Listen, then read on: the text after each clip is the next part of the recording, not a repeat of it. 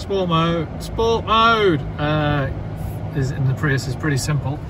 Uh, I drive, and then I go to the uh, climate screen, climate screen, and then I click off. Now I'm in sports mode.